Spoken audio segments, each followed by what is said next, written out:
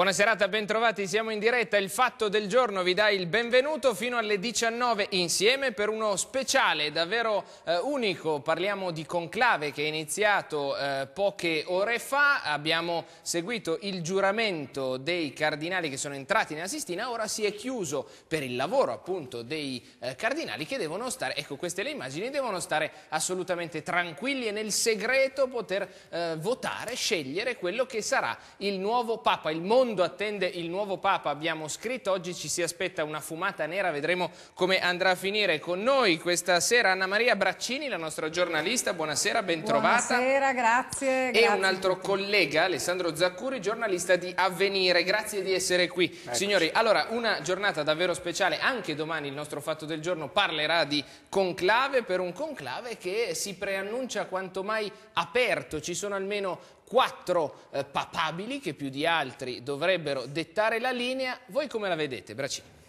Ma eh, certamente iniziamo a dire che lo dicono tutti, ma è vero, la giornata oggi è stata storica dopo le tante giornate storiche che abbiamo vissuto in questi ultimissimi eh, periodi, diciamo da lunedì 11 febbraio quando Benedetto XVI ha detto che avrebbe dato l'addio alla sede petrina e poi il 28 di febbraio quando abbiamo visto quell'elicottero alzarsi in volo. Certamente oggi inizia eh, questo momento che porterà al nuovo corso.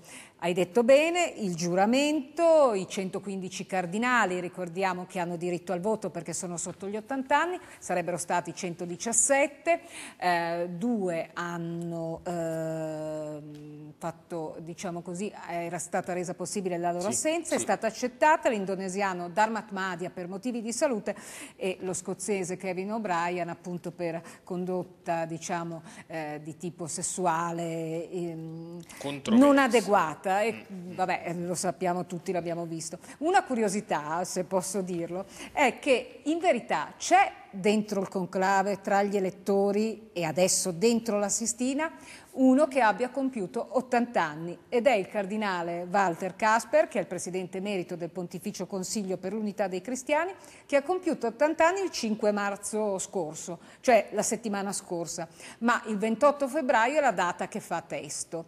Quindi eh, il 5 marzo non aveva ancora 80 Quindi anni. Proprio a cavallo, no? A della, cavallo, della, sì. del momento È il più giovane cui... tra i cardinali in Sistina in questo momento è indiano ed è di nascita del 1959. Questo conclave è eh, quanto mai interessante perché consente davvero diverse letture, una Chiesa che cerca un rinnovamento, ma eh, a differenza del precedente dove già il nome di Ratzinger si era fatto e si voleva forse dare un po' di continuità, poi c'era la presenza fortissima del Papa precedente, adesso ci sono diversi aspetti, c'è chi la vede più sulla questione della fede della Chiesa che va ritrovata, sull'unità della Chiesa, eh, c'è chi invece tende a leggere questo conclave sotto forma geografica e quindi l'apertura agli Stati Uniti, ci sono davvero tante cose, tante letture possibili, no?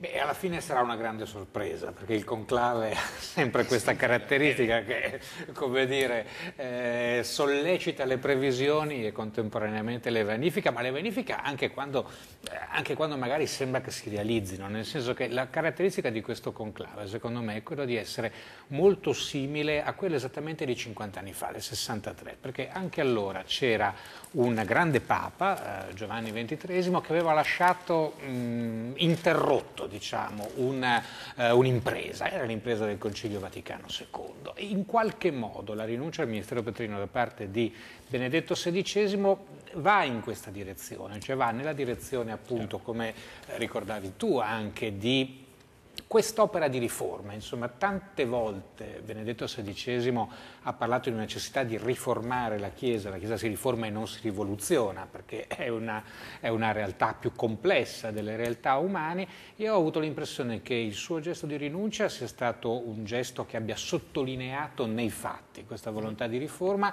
e il prossimo Papa, che senz'altro ci stupirà, che senz'altro eh, sarà sorprendente in quello che farà, comunque io credo che abbia il compito di eh, dare continuità a questo gesto che è un gesto veramente storico. Ecco, è verosimile parlare, appunto, visto che si parlava di riforma, no? la voglia di cambiamento, stare a quanto eh, ricostruiscono un po' i giornali e i gossip di palazzo e che quindi dividono il conclave proprio in schieramenti, cioè il cardinale X che raccoglie tot voti, il cardinale Y non credo sia così no. semplice, sono forse delle semplificazioni. Non, non, è così semplice certamente, prima di tutto perché eh, come accade sempre se si divide in due schieramenti la semplificazione è immediata. Diciamo, prima di tutto ci si è un po' accaniti in questo circo mediatico, ma d'altra parte 5.000 giornalisti accreditati da tutte le parti del mondo devono lavorare e quindi devono raccontare qualcosa. Detto questo,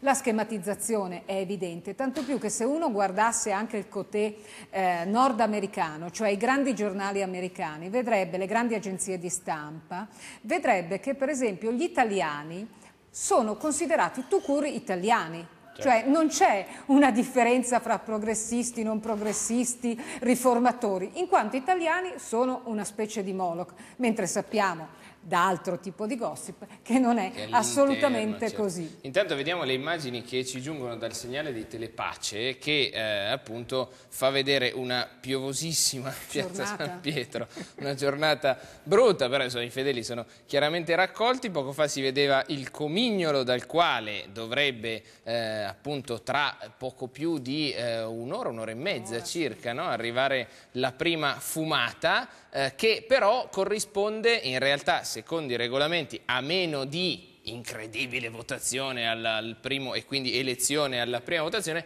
a due scrutini, no? perché funziona così, sono due alla volta e poi la fumata per velocizzare un po', quindi quattro all'interno di una giornata. Sono regole insomma, antiche che però eh, risultano quanto mai curiose in un'epoca in cui è l'immagine a vincere, perché questo conclave sarà assolutamente visto in maniera diversa, forse anche grazie alle tecnologie, a internet, allo streaming, come dove siamo noi adesso, che ci vedono anche sul sito di Famiglia Cristiana. Alessandro.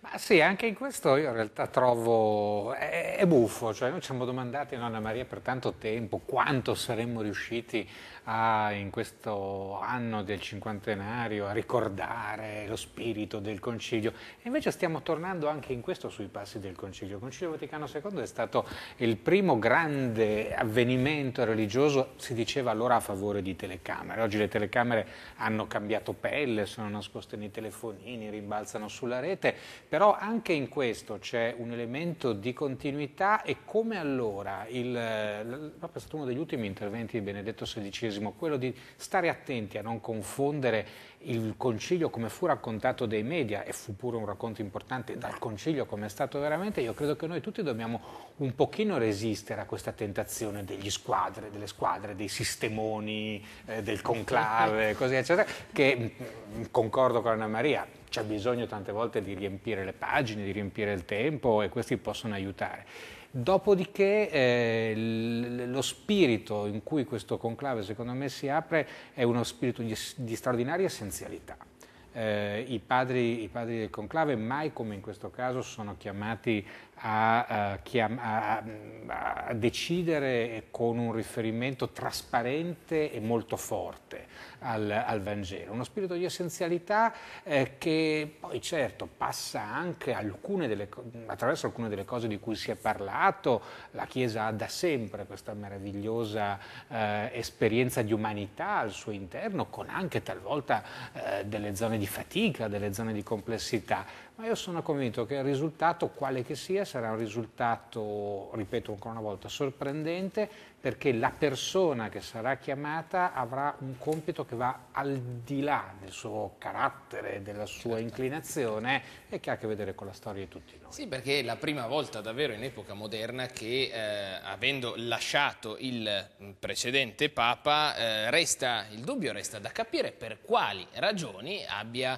appunto fatto questa scelta importante, unica e di conseguenza anche tutto il ragionamento che si sta facendo all'interno del conclave deve partire da lì, deve partire alla riforma senza dubbio, ma anche dai problemi lasciati. E di conseguenza questi buchi sono da risolvere, bisogna capire, i fedeli devono capire e quindi possibilmente scegliere la persona più adatta per risolvere, compito arduo. Compito arduo. Stamattina nella missa proeligendo Romano Pontifice che ha aperto diciamo, eh, in maniera solenne questa giornata, in effetti si è avuto un momento chiarissimo nel quale proprio si è toccato con mano quello che tu stavi dicendo ora, perché il cardinale Sodano, che è il decano del Sacro Collegio, che ha presieduto la solenne Eucaristia nella Basilica di San Pietro, ha citato Benedetto XVI, lo ha citato eh, chiamandolo per nome e eh, oltretutto ha detto il ministero generoso e ci sono stati 20 secondi di applausi. E i cardinali che applaudono in Duomo non sono uno spettacolo, direi, frequente. Cardinali concelebranti, cioè vedere dei concelebranti che applaudono durante un'Eucarestia solenne è se non altro dal punto di vista liturgico una cosa molto particolare. Ma detto questo, è indubitabile che come si diceva prima non devi eh, differenziare diciamo, fra schieramento A e schieramento B, quasi ci fosse, mi scusino i telespettatori, ma una Champions League certo, tra, tra, tra, squadre. No? Certo. Non si deve neanche semplificare nel senso di eh, Benedetto XVI era così, il prossimo sarà invece in un altro modo, bisogna chiaramente seguire gli eventi. Il concilio di cui Alessandro parlava e di cui è conoscitore estremo fu proprio questo, un divenire, un divenire certo. via via che si andava avanti. Ricordo solo questo piccolo fatto, quando iniziò il concilio nel 62, l'11 ottobre, i comunicati stampa non esistevano perché i lavori avevano una misura di segretezza. Poi i comunicati stampa certo. cominciarono ad uscire ed erano in latino. Nel 65, quando finì il concilio l'8 dicembre, erano accreditati più giornalisti di quanti ne erano arrivati per un evento mediatico globale come sono state le Olimpiadi di Roma nel 1960. Certo, certo. E invece adesso tempi moderni, altre faccende, ma addirittura abbiamo letto documenti che mai avremmo dovuto leggere, abbiamo scoperto che all'interno delle stanze vaticane si aggirava il cosiddetto corvo, insomma sono davvero cambiati i tempi, ma è necessario un ulteriore cambiamento, possibilmente in positivo.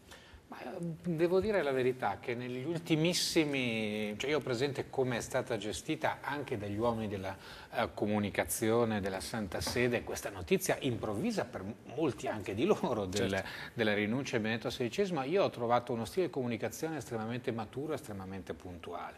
È chiaro che tutto quello che è accaduto negli ultimi anni ha lasciato una ferita non ancora rimarginata, eh, che è una ferita però complessiva della Chiesa, eh, rispetto alla quale eh, quel cammino di riforma, di purificazione, che era stato per così dire il manifesto di Benedetto XVI a fine delle prime battute del suo pontificato, rimane veramente una, eh, una, eh, una missione ancora aperta. Detto questo però eh, il risultato, come spesso accade nella storia della Chiesa, un po' paradossale, no? da questi eventi che potrebbero ridursi semplicemente a uno scandalo, che cosa nasce? Nasce una grande richiesta da parte dei fedeli alla Chiesa di essere più Chiesa, quindi una, una richiesta di purificazione, una richiesta di chiarezza e in questo io credo che l'opportunità di questo conclave anticipato rispetto alle, certo. alle consuetudini normali della successione appunto soglio, al soglio di Pietro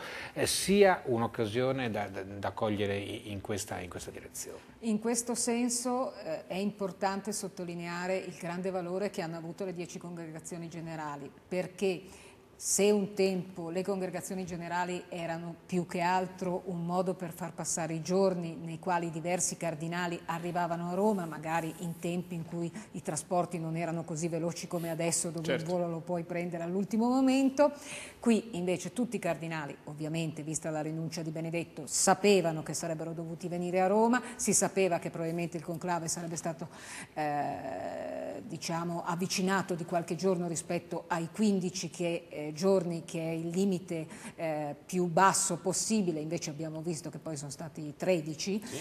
e quindi le congregazioni generali, tutti i cardinali presenti sono stati veramente un modo per parlarsi, per Molto conoscersi. intensi, certo, certo. Tra i 115 cardinali ce ne sono certamente alcuni che non conoscono, altri che magari vengono dall'altra parte del mondo, che sono stati creati cardinali nell'ultimo concistoro Certo. di Benedetto. È indubitabile che questo è un conclave anche segnato dalla figura di Papa Ratzinger, perché Papa Ratzinger ha fatto nei suoi sette anni e mesi di ponti- qualche mese di pontificato ha creato 90 cardinali, mi pare in sei concistori. Sì.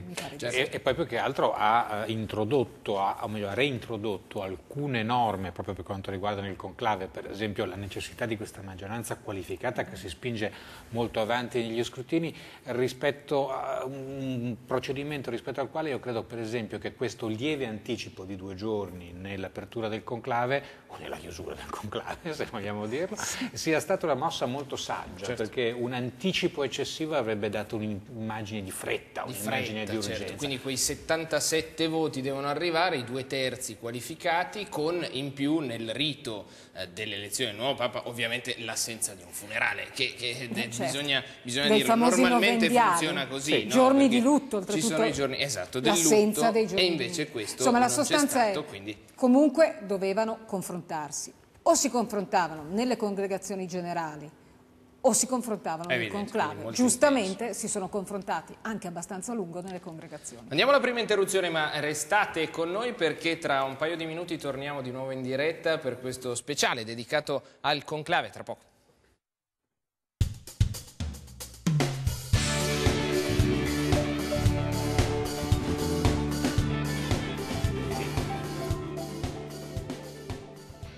Dunque, mentre proseguono le immagini in diretta, stiamo vedendo da Piazza San Pietro, si indugia un po' sul comignolo a volte, no? che non è questo ovviamente, però eh, ovviamente presto non, non c'è ancora stata eh, probabilmente neanche la prima votazione perché si è chiuso poco fa invece il giuramento, abbiamo detto, e eh, l'extra omnes, cioè tutti fuori, è iniziato il conclave. Io farei vedere, visto che l'abbiamo citato poco fa, l'ha citato Anna Maria, il cardinale Sodano che questa mattina in un primo di tre contributi eh, parla proprio del pontefice generoso. Facciamo vedere, per favore regia, via.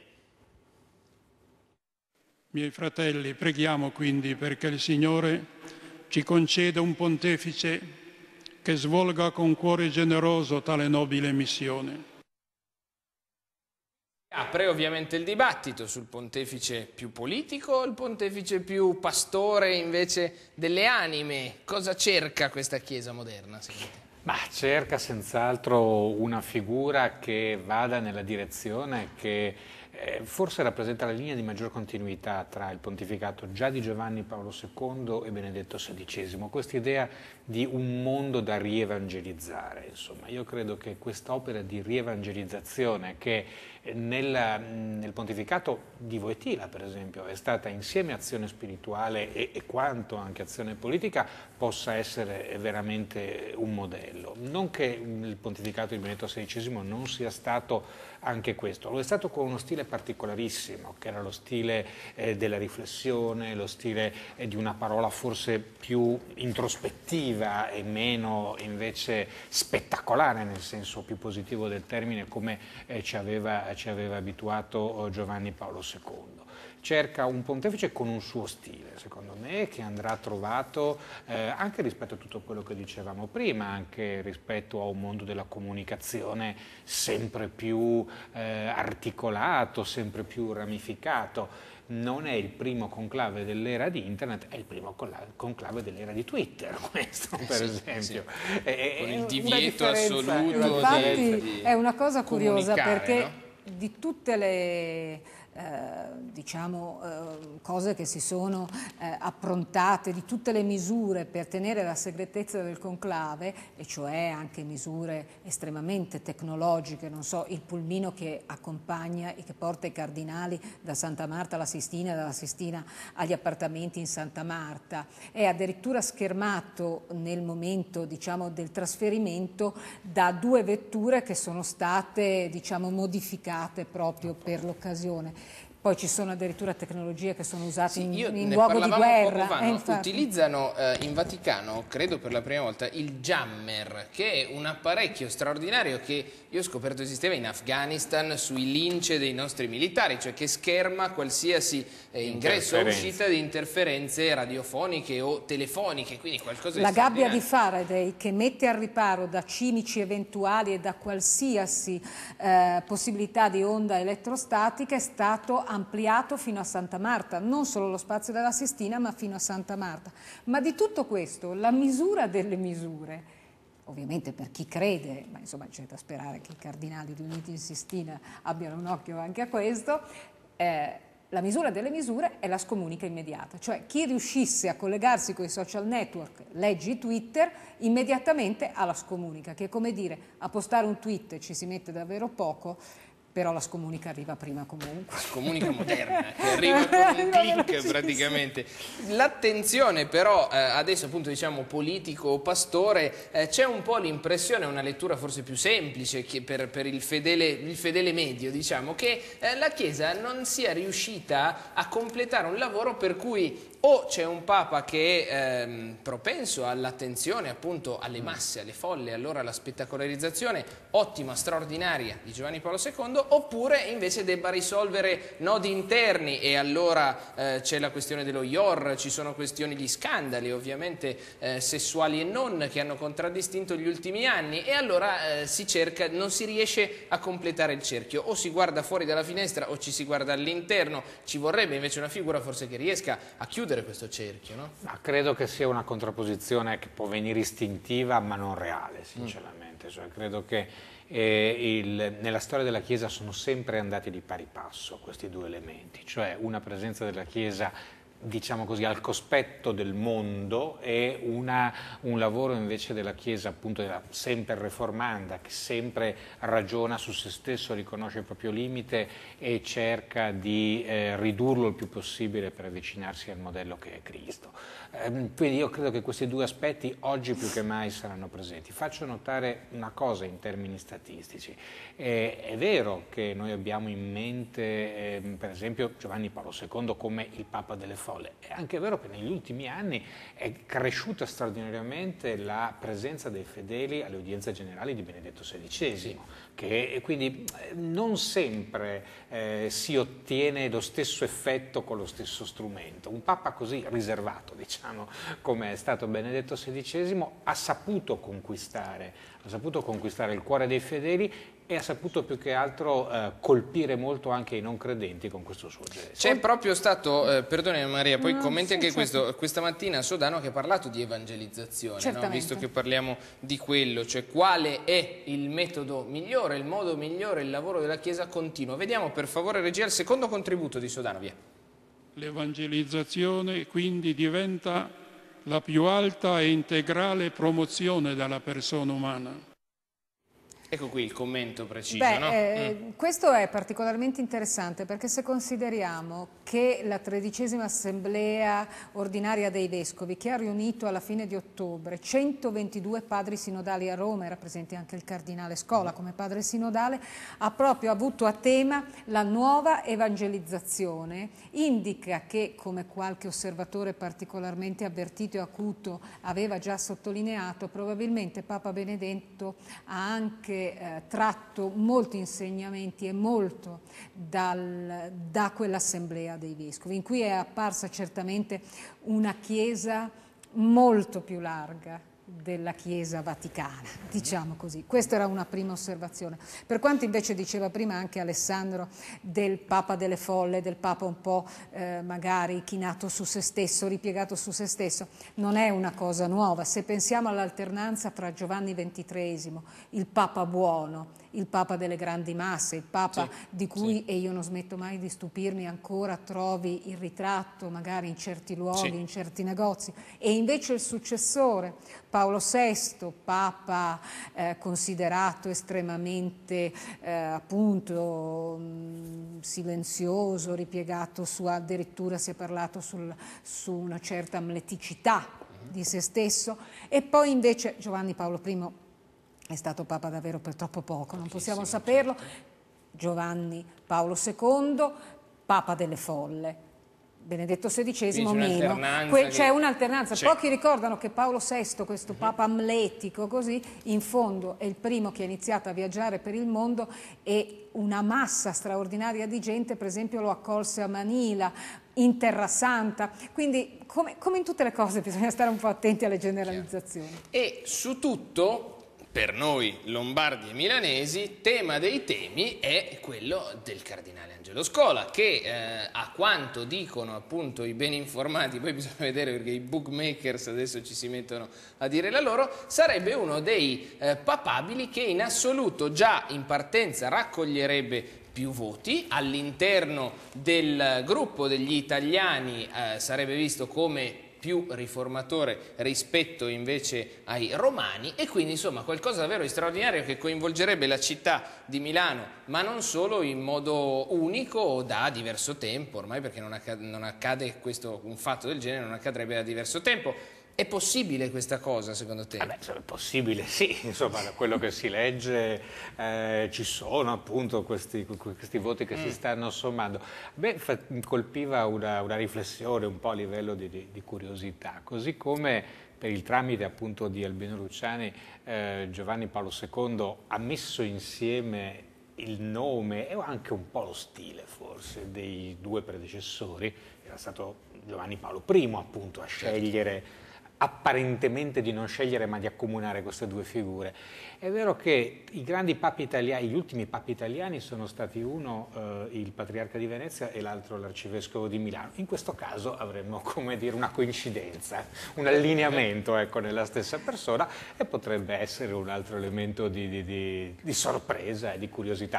Però questo lo vedremo si in prossimi chiamerebbe, sempre secondo, eh, eh? Leone quattordicesimo, perché Beh. poi c'è la questione del nome, no? curiosissimo anche questo, grande curiosità sul Ma nome. Ma lo sai perché si... i papi cambiano nome? Mm. I papi cambiano nome perché nel momento in cui diventano successori di Pietro, così come a Pietro fu dato il nome appunto diciamo in italiano di Pietro e su questa pietra edificherò la mia chiesa, Chefa in greco, che vuol dire appunto pietra, in verità si chiamava Simone. Certo. Quindi nel momento in cui viene investito del ministero di annunciare il Signore, di essere il primo degli apostoli, il Signore Gesù gli cambia nome. E allora hanno cambiato nome entrando appunto certo, salendo al soglio di Pietro. Uh-huh. La questione del nome certamente se dobbiamo dire Leone XIII fu un papa piuttosto deciso e un papa considerato all'inizio del suo pontificato certamente un papa fortemente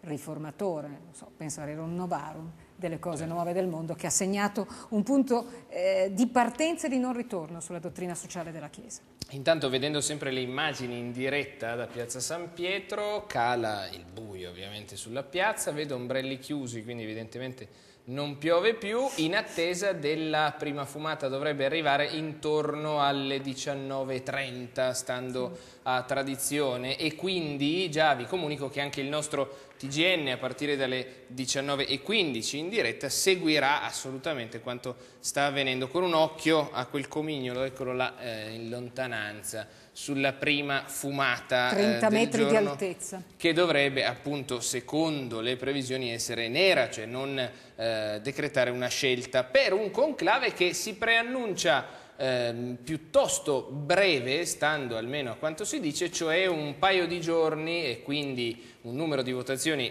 nella norma e non né, né lungo né brevissimo, insomma, stando nel, nella media dei due giorni. È possibile questo secondo me? Penso, penso, proprio di sì, senz'altro il lavoro delle congregazioni è servito a, eh, come dire, chiarire le posizioni e probabilmente anche a far convergere alcune, far convergere alcune convinzioni eh, comuni.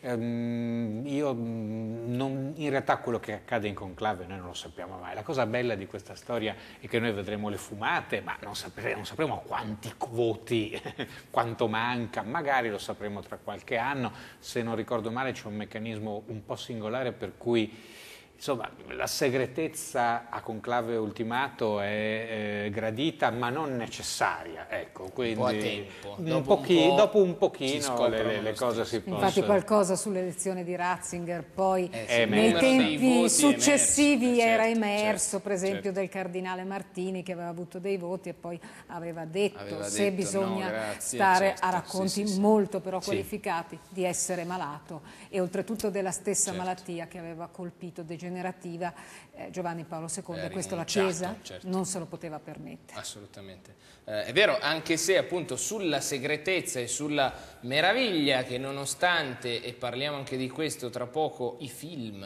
le immagini eh, e le ricostruzioni hanno provato a portarci lì dentro e farci vedere che cosa succede, ovviamente il bello è proprio che nonostante sia nel 2013 si chatti da una parte all'altra del mondo, quello che succede lì non lo possiamo sapere e quindi vivere grande, questo grande evento così come viene e lo faremo ancora in diretta tra poco dopo l'interruzione pubblicità.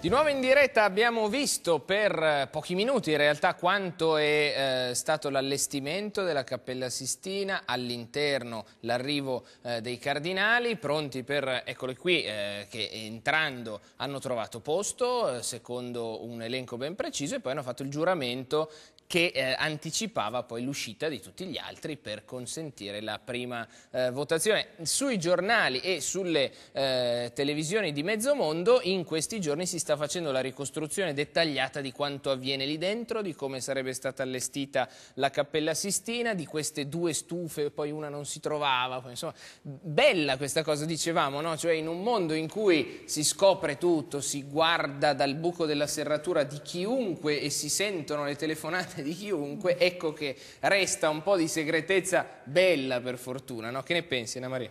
Ma sì, certamente è un modo anche particolare di approcciare un evento di portata mondiale, perché se pensiamo, non so, all'elezione del Presidente degli Stati Uniti, per dire un evento recente, anche questo di portata certamente planetaria, tutto è abbastanza noto.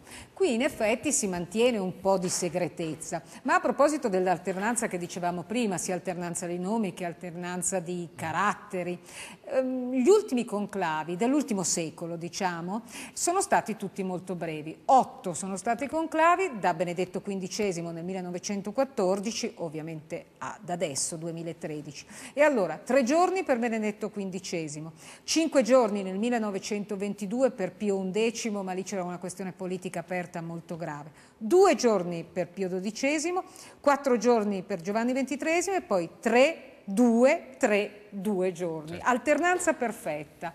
E se vogliamo proprio dirlo, Pio XI era arcivescovo di Milano, così come Paolo VI, quindi due nell'ultimo secolo arcivescovi di Milano.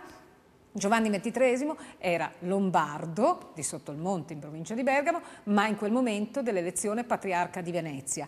E Pio, XII, e Pio XI era anche Brianzolo, Papa Achille Ratti da Desio. Quindi abbiamo una bella rappresentanza, insomma, di, i lombardi sono sei. Non manca. Eh, dicevamo appunto nell'era del- dell'immagine, tu hai studiato, no? scrivi e studi Sì. televisione, immagini, dal grande fratello in qua non c'è proprio più nulla da immaginare, vediamo tutto, la televisione ci porta in casa tutto, salvo che questo evento forse. Eh beh, insomma, è la scorta di invisibile che la Chiesa deve conservare per il mondo contemporaneo, credo. no? Cioè, in questo suo essere una struttura, eh, una struttura mondana, una struttura come, come- come quelle di cui l'uomo ha bisogno e proprio per questo così esposta a critiche e quante ne sono venute anche negli ultimi anni, però non è per, per essere criticata che sta al mondo la Chiesa, sta per conservare questa, mh, quest'aurea di mistero, sta per conservare questa scorta di invisibile, appunto che stranezza delle stranezze, in realtà è invisibile una cosa di cui noi sappiamo esattamente tutto, perché mai come per questo conclave ci sono stati appunto sui giornali,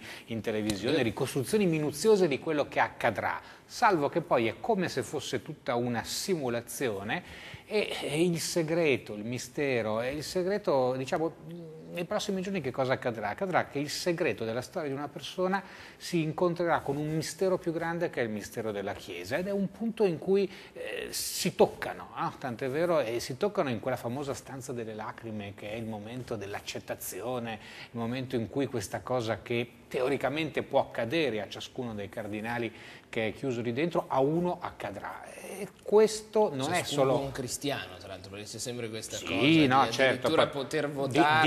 Diciamo, diciamo Cioè, che così probabilmente regola, sarà poi uno dei cardinali. Esatto. Ecco, su questo io non amo le previsioni, Così però su questo, su questo mi sbilancio. che lascia sempre un margine, no? anche lì, Ma, eh, di nella meraviglia, storia di ci dire, sono- magari, hai visto mai? Nella storia qualcuno è stato pescato anche da fuori. Eh, Nella certo. stanza delle lacrime il nominato Papa può rimanere tutto il tempo che crede. Eh, penso che sia forse l'ultimo momento eh, in cui si è lasciato all'uomo, alla Certo. persona, di dire tutto se stesso, a al, al se stesso che già in lui. Puoi starci quanto vuoi, subito dopo probabilmente si incomincia a chiedere all'eletto di essere davvero Di il essere vicario un di altro. Cristo Di in terra, altro, di essere certo. il vicario di Cristo in terra, di non dimostrare emozioni, dolore. Io credo che eh, la grande umanità che ha dimostrato Benedetto, che è stata capita dalla gente, perché in fondo i sentimenti forti, le persone poi, tutti noi li capiamo con Certo. facilità. Non ci- c'è un linguaggio anche del corpo che è evidente, che Certo. travalica i confini. Sia stato questo dire, seppure con semplicità, in un modo abbastanza teutonico, lineare, da professore, però dire anche l'emozione, l'emozione di una scelta che penso gli sarà costata moltissimo. Sarà davanti alla televisione adesso. Eh, immagino sì. Ma chi lo sa? Perché maga- un po' di curiosità immagino Ah, ce, ce l'abbia, eh. ce l'abbia sicuramente. Per tornare alle questioni invece che potrebbero ridisegnare davvero la storia eh, della fede e anche eh, ovviamente del- di diverse nazioni, c'è questa possibilità concreta che il prossimo Papa sia un americano, poi eh, statunitense o canadese, però sarebbe comunque una novità assoluta, un concetto nuovo anche per i fedeli, per gli italiani e non solo per tutti gli europei, che però potrebbe ehm, riequilibrare in qualche modo assetti che siano appunto economici, ma anche appunto di fede, ma di spostamento di fede, tante cose, tutte insieme che potrebbero appunto uscire eh, secondo quella fumata bianca da quel comignolo che abbiamo visto. È possibile questa scelta, ma in che modo potrebbe influenzare il mondo intero? Io credo che l'aspetto interessante di questo protagonismo dei, eh, dei cardinali americani, statunitensi e dell'America Latina stia anzitutto in questo, al di là di quello che sarà il risultato poi alla fine. Dieci anni fa la Chiesa cattolica negli Stati Uniti era in una posizione di crisi molto profonda. I primi scandali erano emersi, eh, avevano colpito duramente anche figure molto autorevoli. Dieci anni dopo questa è una Chiesa che, come fa d'abitudine della Chiesa, ha mostrato di uno scatto è rinata, è cresciuta in autorevolezza, è cresciuta nella stima non soltanto dei fedeli del suo paese, ma anche a livello mondiale. La Chiesa, eh, non diversamente la Chiesa dell'America Latina, è se- da sempre diciamo, considerata una Chiesa giovane, una Chiesa, eh, una chiesa con risorse eh, inaspettate, anche questa passata attraverso le sue crisi. Noi ricordiamo cosa è stata la, la lacerazione a un certo punto della, della teologia della liberazione, ma è una Chiesa di nuovo autorevole, punto di riferimento riconosciuto eh, per la società oltre che per i fedeli. La, la Chiesa delle Americhe, ecco, chiamiamola così, c'è anche qualche canadese che è, Eh sì. che è come dire, considerato in una posizione interessante, è una Chiesa che dimostra che questa partita con la modernità, con la contemporaneità, che tanto ci spaventa, può essere affrontata, può essere vinta addirittura crescendo in prestigio e crescendo in autorevolezza. Quello che un po' è silenzioso in questo quadro delineato da Alessandro molto bene è la Chiesa eh, di altri paesi emergenti. Lasciamo per un attimo la Chiesa africana, la questione del Papa Nero ho l'impressione che tante volte sia una questione folclorica. Oltretutto si è indicato il cardinale Turkson, ma il cardinale Turkson è abbastanza è ghanese, ma è abbastanza romano perché è responsabile di ehm, un pontificio consiglio, quindi non è nero o bianco, è per esempio la Chiesa africana che è in grossa difficoltà e la Chiesa certamente del sud-est asiatico. Sarebbe forse un bel segno un Papa che venisse da quelle zone perché c'è una situazione per esempio in Cina di persecuzione della cattolicità gravissima, siamo ancora al livello della Chiesa del Silenzio, ricordo quando venne in Italia eh, due anni fa il cardinale Zen e raccontò che lui stesso era stato poi in campo di concentramento, ma eh, le vessazioni molto gravi certo. cui erano sottoposti molti suoi sacerdoti, molti suoi vescovi. Non è un mistero per nessuno che la Cina eh, abbia, una, da questo punto di vista, abbia una politica che tende a perseguitare e diciamo a perseguire se non a perseguitare una debolezza di tutte le religioni. Sì, da questo sì, punto sì. di vista anche dell'Islam, per esempio, ha una condotta feroce verso l'Islam, ma nessuno lo dice.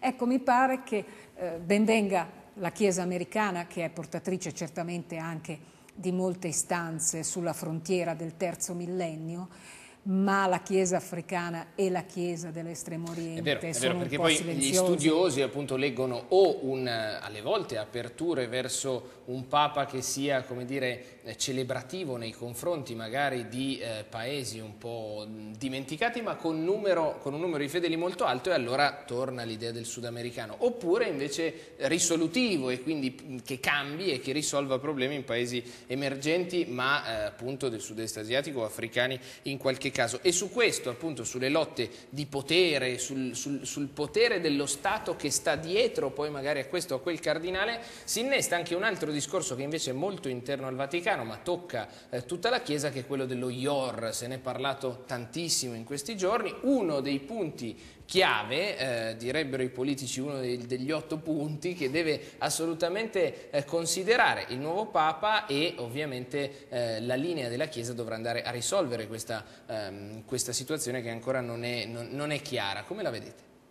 Ma, eh, io la vedo come una delle questioni aperte non da oggi. Eh, la gestione del, del, tesoro della Chiesa, che non è un tesoro che la Chiesa, questo forse va ricordato, tiene per se, stesso, ma che, eh, per se stessa, ma che investe in opere di carità, in opere eh, di prossimità in tutto il mondo, opere che sono caratteristiche della Chiesa ma non esauriscono il suo compito, questo va sempre ricordato, è una questione che eh, va avanti da molto tempo. Io sinceramente non ho né la competenza tecnica per poter eh, giudicare, né una conoscenza che vada al di là di quelle famose carte certo. di cui tu parlavi che sono state rese pubbliche, mm, rispetto alle quali comunque l'impressione è sempre di una visione abbastanza parziale, abbastanza incompleta.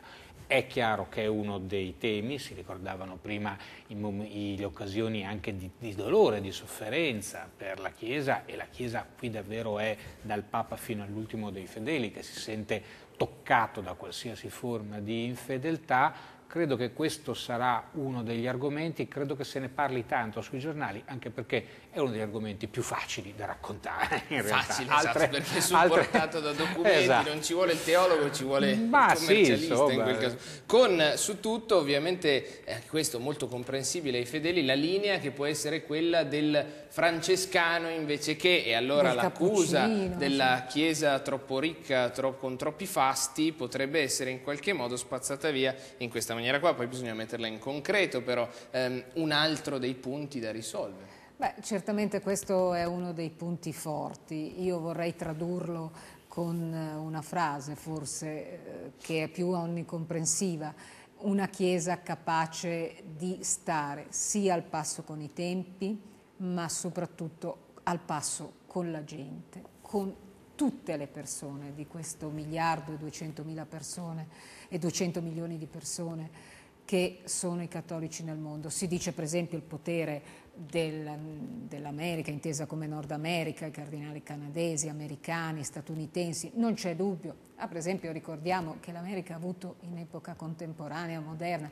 un solo presidente degli Stati Uniti cattolico, che è stato Kennedy, e in quel caso ci furono anche delle polemiche. Quindi le cose bisogna poi guardarle con attenzione. È indubitabile che una delle questioni più urgenti e importanti è quella di un rapporto diverso, eh, non solo dei principi della Chiesa, ma della cristianità tutta con i modelli di sviluppo, con i modelli di prossimità. Non a caso Benedetto XVI, in un'enciclica che è veramente straordinaria, come la Caritas in Veritate, ha affrontato il tema dell'economia di comunione, quella che noi con uno slogan possiamo chiamare l'economia di comunione, cioè lo, il modello di sviluppo economico sostenibile.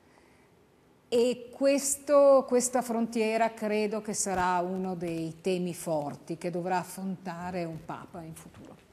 Breve interruzione, l'ultima, di nuovo pubblicità, poi torniamo in diretta tra poco.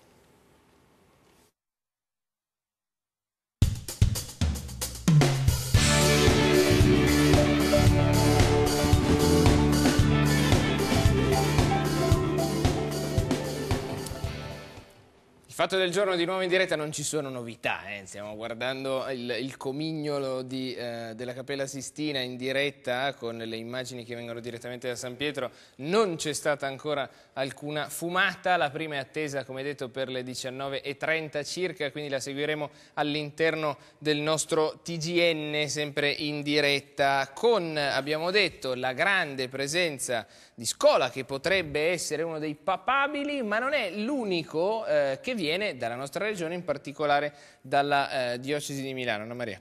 Sì, eh, dei 28 cardinali italiani, ben 6 vengono dalla Lombardia fra gli elettori. In verità sono 7, ma gli elettori sono 6. Di questi uno è eh, originario di Dorno che è in provincia di Bergamo ed è il cardinale Giovanni Battista Re eh, e quindi è bergamasco. Gli altri cinque sono ambrosiani, cioè della Chiesa di Milano, e sono ovviamente il cardinale Scola, che è nato a Malgrate, che è in provincia di Lecco, quindi Brianza Lecchese. Poi c'è il cardinale Dionigi Tettamanzi, che anche lui è di un'altra parte della Brianza, Renate. Poi c'è il cardinale eh, Ravasi, Gianfranco Ravasi, anche lui brianzolo di Osnago. E poi ci sono il cardinale Attilio Nicora, che è varesino, di Varese, e il cardinale Francesco Cocco Palmerio, che invece è milanese. Si aggiunge il cardinale Giacomo Biffi, che è stato arcivescovo di Bologna e che non entra in conclave come elettore perché ha superato gli 80 anni. Che poi eh, a immaginarsi no? queste persone di grandissima cultura, di grandissima fede, di Malgrate per esempio, che parla con l'indonesiano, col thailandese, mette insieme gli intenti per trovare il futuro della Chiesa, tutta straordinario no? e si Beh. fa da sempre tra l'altro. La Chiesa è cattolica fortunatamente, cioè questa dimensione universale che non è genericamente cosmopolita, cioè non è il discorso che queste... A me mi colpisce molto quando si dice guarda quante lingue parlano i cardinali, no? c'è un recordman mi pare su dieci lingue. Quelle. Quelle. Eh,